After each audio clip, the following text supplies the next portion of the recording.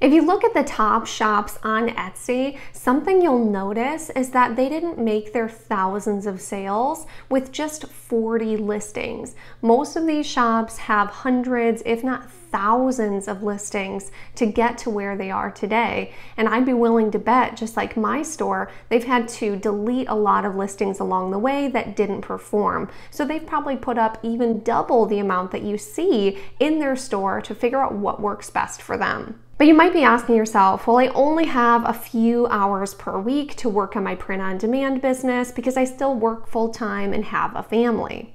How can I ever get that many listings up in my store? Well, we will be covering how to make 100 designs in just one day in this video. Then I'll link a video down in the description for you to watch next on how to create 50 listings in one day so you can be making your listings as quickly and efficiently as possible with the little time that you have to grow your business. Here are the steps we're going to take in this video. Number one, we're going to find a great scalable design to create. If you don't know what a scalable design is, this is where you create a design template that you use over and over again with the same look of the design, but you just change the words that are in it. That way you can quickly and easily create tons of designs all at once. Step number two, I'll teach you how to actually create that design template in a really simple and easy way using my favorite design software, Canva. And then step number three of this video, I'll teach you how to bulk create all of your designs after you've made the template once using, again, Canva.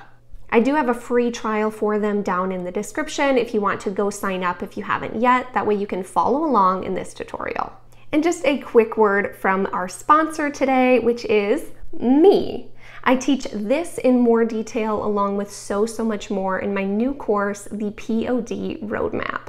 I'll link the details down below in the description. I took everything that I learned from running my mentorship group last year that helped my students grow their Etsy businesses to five figure and even six figure months in their print on demand business. And I rolled all of what worked for them into my new course that is completely self guided, but also comes with a free community for support where I answer your questions every single day so you don't have to figure it all out by yourself. You'll have an exact roadmap and plan so you always know what to do next.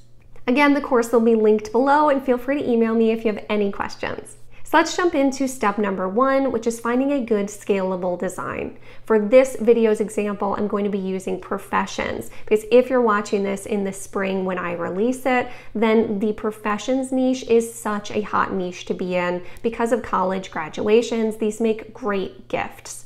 But if you're not into professions, you can also do things like hobbies, sports, and locations are all great examples of designs that you can create one template for and then turn it into 50 or 100 different designs depending on the different variations. One really fun way to get ideas for your scalable designs is by utilizing artificial intelligence. If you haven't used ChatGPT before, I'm going to show you how to use that right now. So go to chat.openai.com and create an account. This is a free artificial intelligence that you're able to use to help you come up with ideas quickly and easily. Now, it is important to know that this is not Google, this is artificial intelligence. So it's making things up for you based on other things that it's seen. So it is important to know that not everything it gives you will be factual. So you do need to fact check anything, but it can be a great resource to get ideas and get moving quickly. It also is not updated past 2021, so try not to ask it what's popular right now because again, it'll just make something up. So it's a great place to come to get general information. So this is built to be a conversation. So it really wants you to ask it different questions. So I asked it, give me 50 professions that are popular so I can put them on a shirt, enter. And let's see what ChatGPT comes up with for us. You can see it's automatically giving us a giant list of different professions that are really popular in general. Once it comes up with this list, we do need to go to Etsy and make sure there's actually demand for this niche. You can make something that no one has already demand for on Etsy if you want, but one strategy I really like to follow is making sure you're creating designs for that people are already searching for to buy on Etsy. That way you can ensure that you are selling what people already want. So now it gave us our great list of 50 different professions. So this is an awesome list to start with, but again, you can ask ChatGPT for 50 different locations that are great for vacations. You can ask it for the top 50 hobbies. You can ask it anything, and it will give you so much great ideas that you can then go use in research on Etsy. So let's take number five, for example. Let's take lawyer, since I've actually sold quite a few lawyer things in my store before. So I know this is a good niche, but this is how it'll work for you. So you'll come over to Etsy and I want you to type in the niche that you're looking to sell. So in this example, I'll type in lawyer shirt. And we want to see if there's current designs that are selling really well on Etsy for this niche. To do that, you can search through the search results and see what's selling well, but I like to use the all filters button and click star seller so we can actually edit this to show you the best sellers. So click star seller and click apply. Then up here in the search bar, we can actually delete the word star and type in the word best. And this actually shows us the best seller feature that Etsy tried to get rid of, but we can still access it in this sneaky way after one of my commenters showed us how to do this. So thank you for that. So looking here, there's over 120 results that come up for bestsellers for lawyer items. Not every single one of these is going to be a shirt, as you can see, but there are quite a few that are really, really popular. So looking through here, you see it's me, hi, I'm the lawyer, it's me, born to argue, I don't need a good lawyer, I raised one, I'm billing you for this conversation. So it looks like there definitely is demand for this particular niche. And we want to look for a good way to scale out this design and others. So this one here gives me a really good idea that I don't need a good lawyer, I raised one. You could really easily take the word lawyer and change it out to any of those other professions and really quickly and easily have a winning design because we know that design is selling well in this niche, so it probably will sell well in those other niches that we saw for the different professions. That's the one I'm going to use for this example, but please don't all go copy this exact same one. I want you to do this exercise with a completely different saying. Trust me, there is tons to choose from. That way you can have something completely unique just to you. Now on to step two, actually creating your scalable design. One of the quickest and easiest ways that I like to create designs for these is going simple text only designs, but doing two different fonts together to add interest instead of that example we saw where it was just one blocky font. One of the easiest ways to do this, you can save time not looking for 20 or 30 minutes for two fonts that look good together, is by searching for font duos. One of my favorite places to get these is creativefabrica.com. This is a graphic and font website where you pay only $9 per month and you get unlimited downloads. So here you would come and type in font duo and there's going to be lots of amazing fonts that you can choose where you get two different fonts that are already made to go together that you can use in your business to create your designs. For this example, I'm going to download this Pink Vibes font and I'll show you how to actually download this font and upload it to Canva where we'll be creating our design. There's a link down below for a free trial that'll give you 10 free downloads as well if you haven't tried this out yet. So go ahead and click download after using the link down below. Now let's come over to Canva to create our design. You'll hit create a design in the top right. Again, there's a free trial for them down below if you haven't used them yet. And here we want to create a custom size. So I'm going to type in 4500 by 5400 for our canvas size, since that is a good rectangle to create for a t-shirt design, but you can use whatever size you need for your items. This is going to open up a brand new canvas for us to design in. So what I want you to do to add that font is just to type the T button. That'll bring up a paragraph text. And you'll click up here on the text box where it says Canva Sans. And you'll see down here a button that says Upload a Font.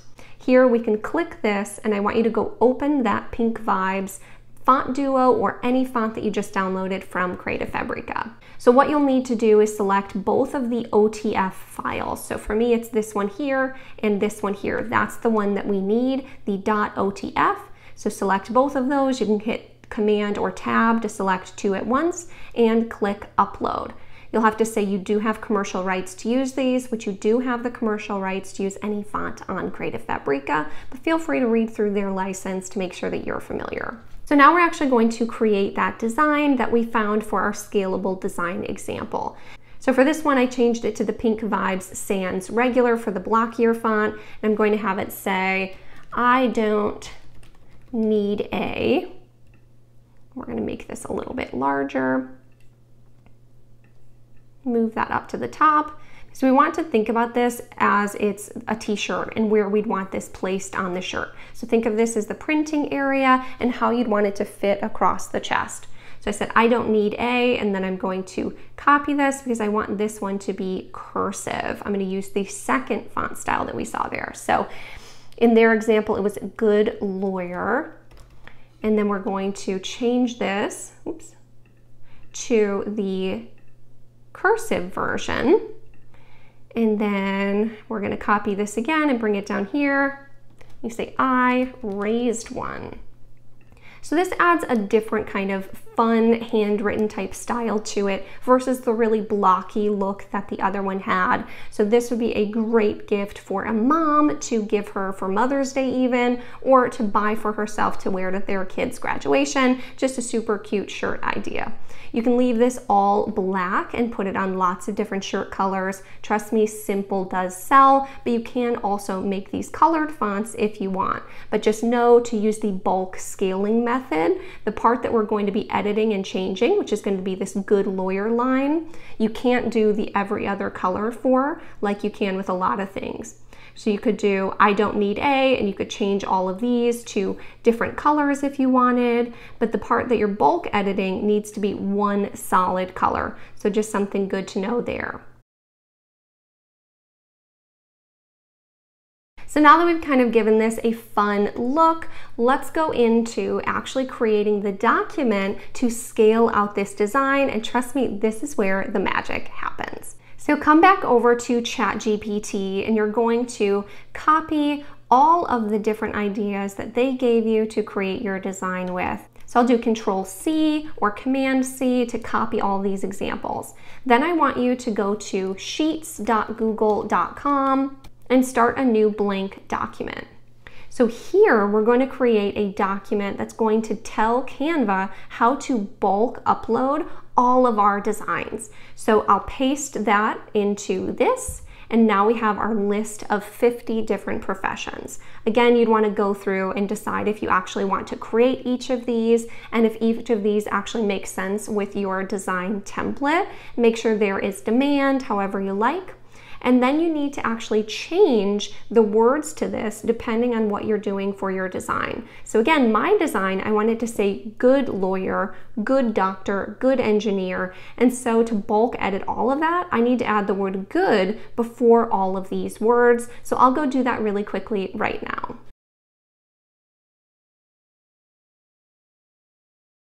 Once you finish getting your document ready for exactly the words that you want replaced in your design, you'll go to File, Download, and then comma separated values or a .csv file and have this saved to your computer.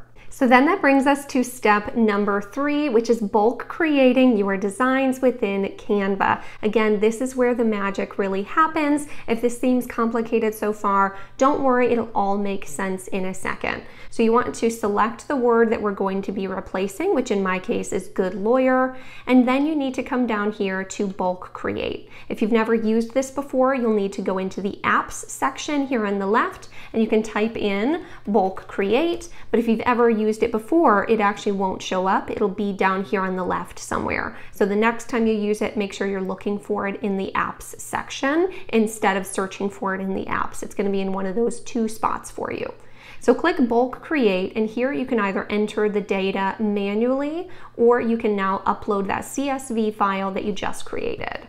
So now that we have that uploaded, you need to right click on the words you're wanting to replace and come down to connect data. And here now you see that file we just uploaded that says good doctor because that was the first line. And look at that super cute design that it just created since this file comes with some extra cute little font glyphs like that. So then you'll click continue and it's going to ask you, do you want me to create all of these? And you'll say yes, generate all 49 pages. Now, if you have pop-up windows blocked, then you will have to go up to your URL and unblock this pop-up because it wants to open in a new document, not the one that you were just in. So it looks like this one, when I bulk created it, it took away the little font glyphs, the little swirlies at the end, which I'll show you how you can re-add those back in, but it would be a manual process for each one if you wanted to do that. You can see now it created all of the designs for me, and I can just go ahead and go to share, download, transparent background, all 49 pages and download them. And just that quick, I have that many gorgeous designs. But you do want to scroll through each one to make sure that they make sense, as sometimes things are longer than others and don't fit on one line. So sometimes you'll have to come through and edit these slightly, but all of these look like they turned out perfect. So I have two bonus tips for you. The first is how to add those little swirls. So to do that, you'd come back to Creative Fabrica and go to Tools and come down here to Font Cloud. Go to Open Font Cloud and here you want to upload that same font. So go to Browse and you'll upload that exact same font just like you did in Canva, the .otf file for Pink Vibes. Once you upload that, you'll click on the pink vibes and you can scroll down to the bottom for the little glyphs that have the little curlies with the hearts. You could add this one in between, for instance. So if you click it, it copies it to your clipboard.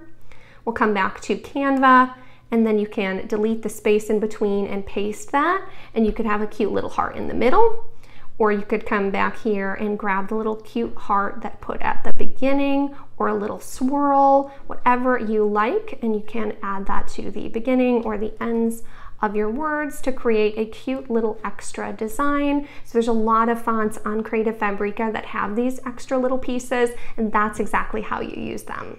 And then bonus tip number two is to create a custom listing with this as well. Because I find when I have these scalable designs with lots of different professions, hobbies, locations, or different interests, that I get a lot of custom requests to do a different word. So it's nice to have a listing that's already ready for those custom orders. So you'd say, I don't need a good custom, I raised one and then you'd create a listing just like normal, but have it be custom. And if you don't know how to do a custom listing, I will put my custom listing tutorial down in the description below because trust me, this one has made me so much money. And just like that, you've created 50 designs in just a few moments. So then all you need to do is go find another scalable design that you can use for those exact same professions and then create one again. And in no time, you'll have 100 designs to upload. And the best bonus is that you can use the exact same SEO for both designs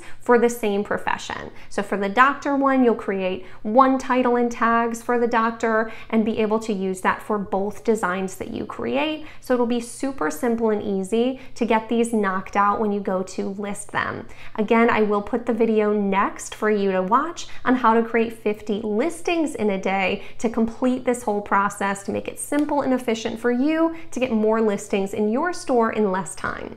And please take a moment to like this video and subscribe if you enjoyed this tutorial and want to see more no fluff tutorials like this in the future with Etsy and print on demand. And as always, thank you so much for staying all the way until the end, and I'll see you in the next one.